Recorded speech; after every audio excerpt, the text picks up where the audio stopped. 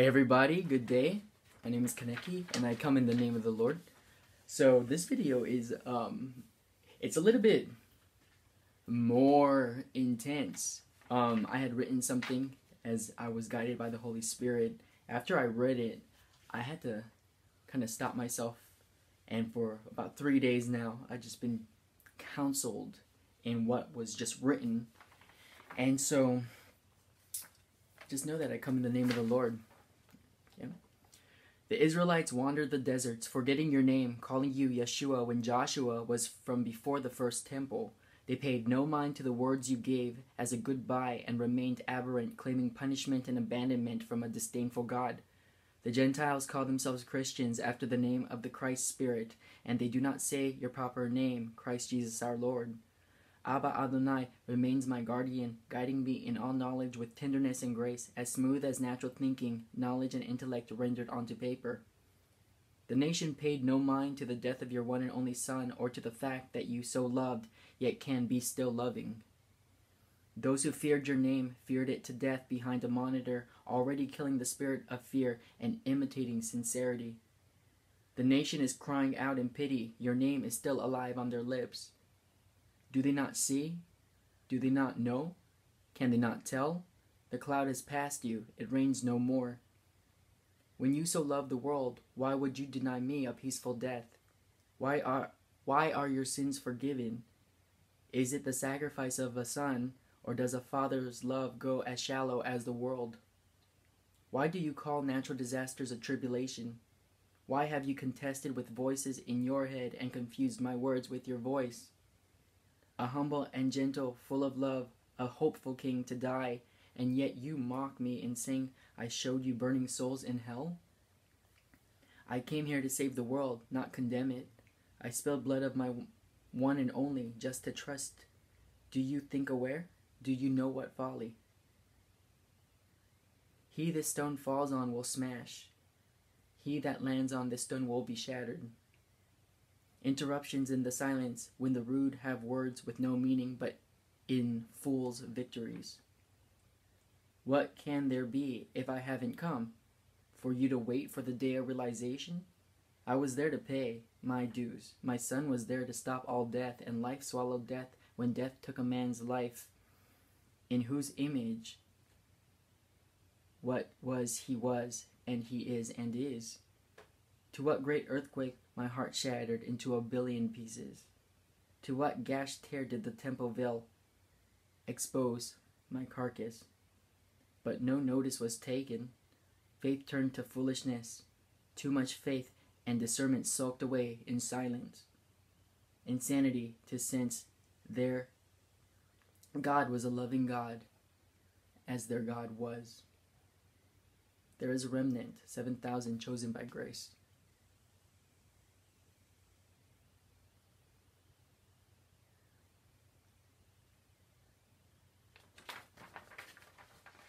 So, I just want to impart that there is a reason why you need to be justified through Christ Jesus our Lord at the heart. There's a reason why there is not another name that can be justified there that your tongue professes. Our forefathers, the first fruits of the Holy Spirit, they said that the old law will become obsolete and then discarded and fade away with the new covenant that came about. And that was 5,000 years ago. They weren't going against the old religion. They weren't going against God at all. They were for God.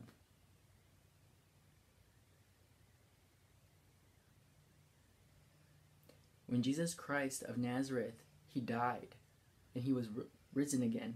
That was that was the testament to what had really happened and you can see it. If it was not true, then Christianity would not have become so huge and encompassed the world. There was a fire that was driving them, an all consuming fire, but a portion of that for the first time since the beginning of creation? Was it allowed to be with you? When the Pentecost came, a huge wind was said to have swept through the room, and tongues of fire appeared to dance on all of their heads as the Spirit gave them utterance. They were talking in tongues for the first time, different languages, understanding, communication, an ability to speak without knowing because the all knowing was speaking through you in such a graceful way. God is known as the all consuming fire. And in the beginning, when God created the heavens and the earth, the earth was formless and void. There was a darkness over the surface of the deep, and the Spirit of God was hovering over the waters. The Spirit of God was in Jesus Christ. That's what you call the Christ. The Spirit that was from the beginning, who was then the Word made flesh in the body of Jesus of Nazareth, as had always been the plan by God Almighty, for God Almighty. There was waters that was in heaven and God made a firmament to separate the waters. And he sent one of the waters down here on earth, gathered it together, so that land and sea could be made. But while he was doing that, he separated the other waters of heaven above the firmament. And the Spirit of God kept hovering over those waters. When Jesus Christ came down, that is why he said he could give you the living water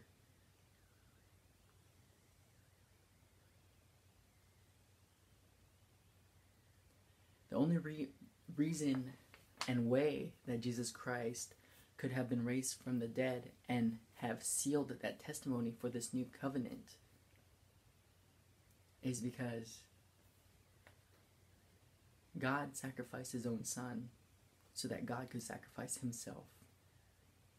The reason that you need to have Jesus Christ as Lord and Savior and the guarantee in is because God is dead the God of the Old Testament is dead. He keeps his promises. He doesn't break his oaths. He doesn't break his promises. He's truth. But ultimately, God is love. And he's also a jealous God. Jesus Christ knew this when Pontius Pilate was speaking to him and Christ as Jesus Christ said, You would have no power or authority to do this to me unless it was given to you from above. So the one who has handed me over is greater in sinning. He is guilty of the greater sin. So I ask you to think now, and the truth will reveal this to you. Who is the one who handed him over? Was it Judas Iscariot? Or was it God? How can everyone have a little bit of love? How can God pour out His Spirit on everybody? How could everyone already have that potential for the rest of salvation? Love shattered into a million pieces. Whoever lands on the rock will be shattered as was God's plan. And when Jesus died, God came down, shattered unto a billion pieces, so that Christ Jesus, the Son of God, the Son of Man, the King of Kings, Lord of Lords, could be resurrected again.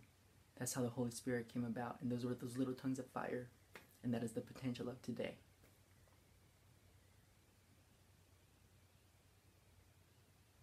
Know that I'm in the truth.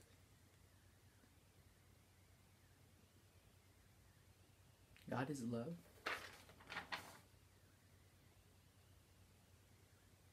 And it's Jesus Christ. Now, because the Old Testament it has become obsolete. That was the law of righteousness. The New Testament is the faith of righteousness. So that you could have a second nature into civilities and virtues. Because those two things are going to be the new common sense when the new nature of righteousness comes in to prepare the sons of God and the sons of the firstfruits and the saved and the believers for the new heaven and the new earth that is coming about. Because the radiance and glory of God, the light of God, that was Christ, the Spirit hovering over the waters, the living waters. God Himself is an all consuming fire that is in the King of Kings. He, he is in the heart of Jesus Christ, who is in the heart of those who have been justified. And it needs to be like that because Jesus Christ is the tent that covers that, or else you will be burned, you will be consumed, you will be turned into righteous. And what righteous is, is a firmament. You cannot be moved. You are strong, unmoving, unwavering. It's pride with no transgression. The feet. The solid.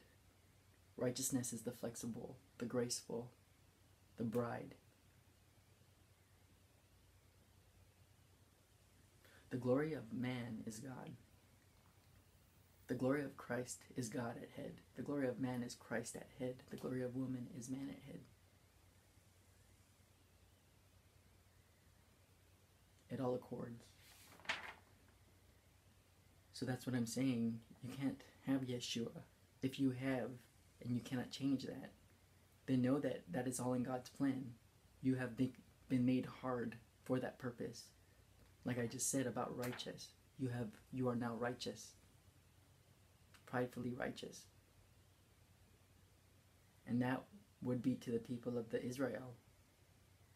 Because your forefathers are the ones who cursed you with recursive sin and cursed that generation and generation and generation with the blood of the righteous Lamb of God who was completely innocent. But that's why God did that because he took the lives of many people who were innocent. But he never breaks his covenants or his oaths or his promises, and he's in truth. That was for the covenant of Noah. That if a man takes another man's life and spills his blood by a man, will his life be taken? and God had taken a bunch of the Hebrews, the baby boys, when Christ Jesus was being born into the earth, into the world in Bethlehem. And so that's why God paid his dues right there. That's why the last blessing is the anointed through the line of David from the root of Jesse, which is now because the anointed are going to be the 12 judges. They're going to be the anointed elect. Then the elect are going to come about, and those are going to be the 7,000 that is by grace. And then the 144,000 are going to be managed by the elect.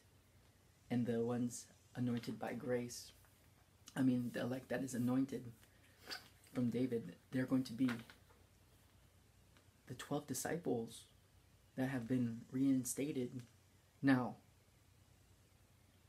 And I have points about that to justify whether or not that is you, but you will know as well as I, because the final pieces are coming together towards the end as the mystery of God is revealed to those who have correctly imbued the Holy Spirit and or have been made prepared with this all to the glory of God Nobody could have ever done this. No man can boast. No, none of us is deserving of such great glory and just so much gentle grace. None of us. And so, in my humility, I do the work of the Father, and I share this with the world to know that it has nothing to do with prejudice or bias or discrimination. It is that way for a reason. So that all can accord in truth and love, justified correctly on a solid foundation of humility to become who we were originally made to become, which is everlasting lives in the presence of God and His glory here on earth and sustained.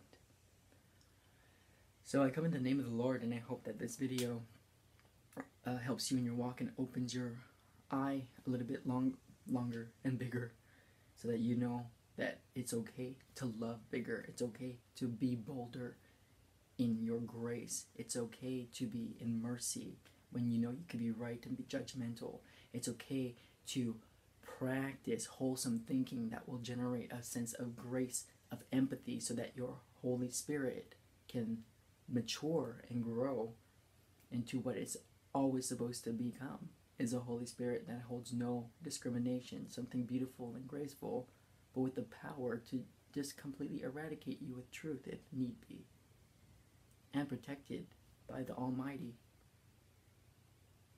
That sins there's no law that you need in order to live your life in civilities. The laws of civilities have been written in your mind and your hearts, justified correctly into blooming, into that matured walk of your life that have produced the fruits of the Spirit, that you are capable of loving and giving love, that showing respect and being respected, that you have the grace and capacity to be patient and understanding and people can be patient and understanding back with you. That's how you give the fruits because you have to produce the fruits, and it's a second nature. It stays there.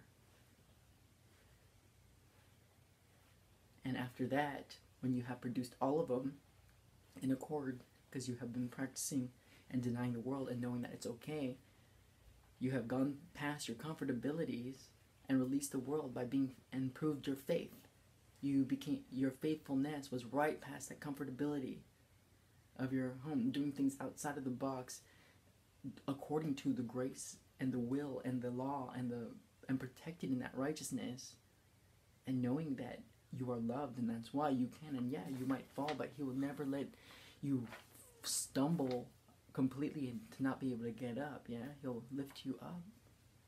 That's what it means and if you have done that correctly, then you have blossomed to the next level, and that's called sincerity.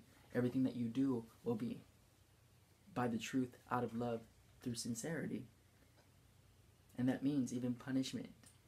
If you are made to be a judge,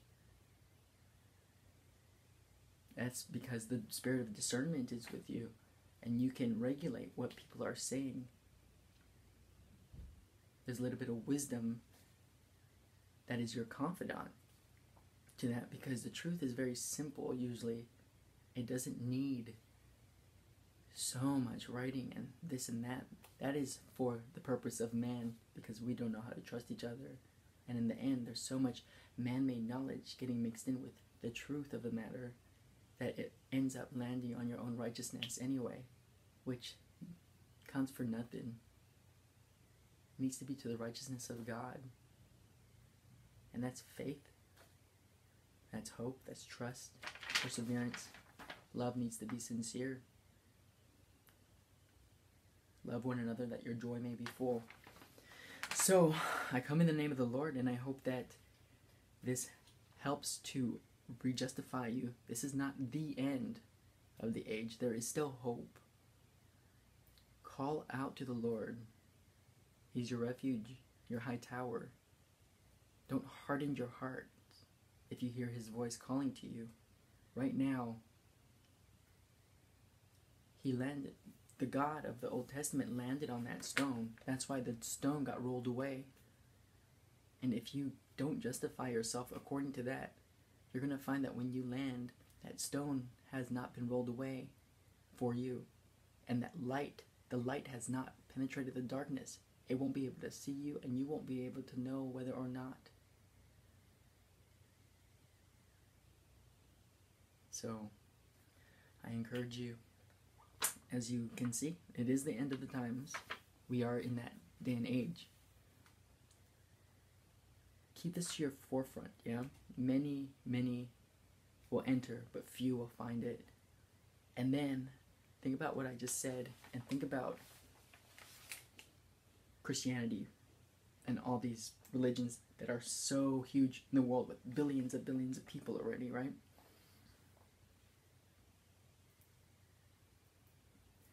Narrow is the gate, small is the gate, narrow is the road that leads to eternal life, and few find it. Broad is the gate, and wide is the road that leads to destruction, and many will enter it. Now think about what is encompassing the world in this degree. Many, many people believe in something, and they many, many people follow each other down that same road. If many, many people are doing that, that is a pretty broad road, pretty wide gate. Start thinking like how the Lord would start thinking. Start trying to exceed the expectation. Know that He is God, He's faithful. He'll keep His covenant of love to a thousand generations for those who love Him and keep His commands. And we're at the end of the age. This is generation 999. But there's still hope. So I encourage you, pray to the Holy Spirit. Don't harden your hearts if He's calling you.